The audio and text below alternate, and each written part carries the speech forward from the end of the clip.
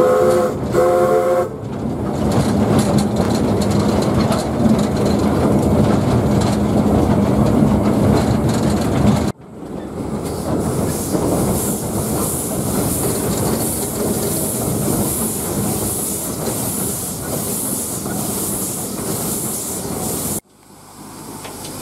job, Missy. Make you a train driver next time you come out here.